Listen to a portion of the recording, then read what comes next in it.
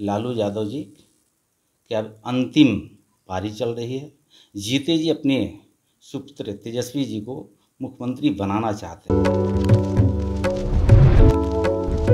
नमस्कार, मैं स्वीटी और आप देख रहे हैं देश टी न्यूज़। बीजेपी के नेता और पूर्व मंत्री जनक राम ने राजद सुप्रीमो लालू प्रसाद यादव पर जमकर निशाना साधा और कहा कि राजद सुप्रीमो लालू प्रसाद यादव की ये अंतिम पारी है, वो जीते जी चाहते हैं कि तेजस्वी यादव उनकी पुत्र सीएम बने। बिहार के सीएम बने, लेकिन बिहार की जनता सब देख रही है, ये कभी होने नहीं देगी। क्या कुछ कह रहे हैं पूर्व मंत्री बीजेपी के जनक राम? पहले उनकी बातों को आप सुनिए। लालू यादव जी कि अब अंतिम पारी चल रही है।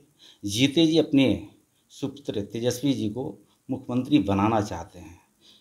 बिहार की जनता कभी बनने नहीं देगी, लेकिन अपने छल कपट प्रपंच के माध्यम से वो सत्तासीन होना चाहते हैं। ये बिहार की जनता देख रही है। कभी बर्दाश्त नहीं करेगी। जो राजनीति बिहार की चल रहा है श्री कृष्ण बाबू के नाम तो ज़रूर लेते हैं, महात्मा गांधी के नाम ज़रूर लेते हैं।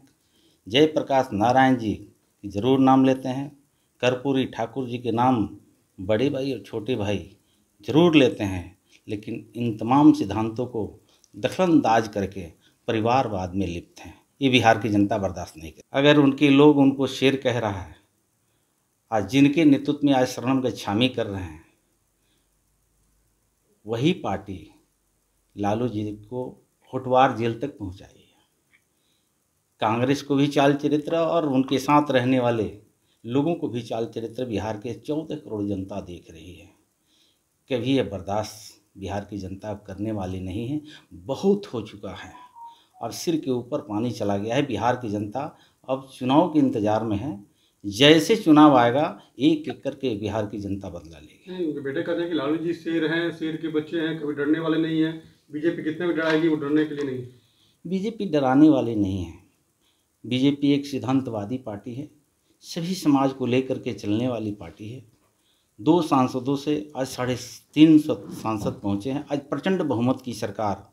वो सीमा सुरक्षा की बात हो राज्य की सुरक्षा की बात हो, देश सुरक्षा की बात हो, सभी समाज के लोगों को एक साथ लेकर के चलने की बात हो। इसमें सफल भारतीय जनता पार्टी है और देश के एक अरब चालीस करोड़ जनता को विश्वास, भारतीय जनता पार्टी और देश के यशस्वी नरेंद्र मोदी जी के नेतृत्व में है।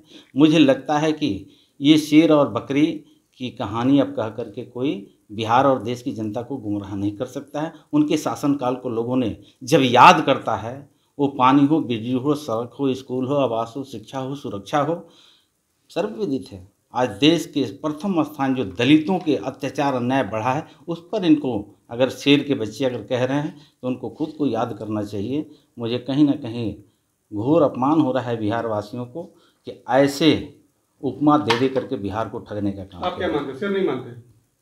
ये बिहार की जनता मानने के लिए तैयार बिहार की जनता तो पंद्रह साल उनको शासन दे करके देख लिया है।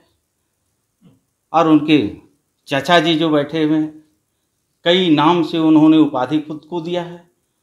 तो मुझे लगता है कि उस पचड़े में बिहार की जनता पढ़ने वाली आपने साफ़ तौर पर सुना कि जनक राम ने सीधे तौर पर कहा कि जिस ने, जिसके नेतृत्व में आज वो सरगम गच्छामी कर रहे हैं उन्हीं के पार्टी के लोग उन्हें जेल भिजवाने का काम किया है। तो ऐसे ही तमाम खबरों के लिए देखते रहें देश न्यूज़ धन्यवाद।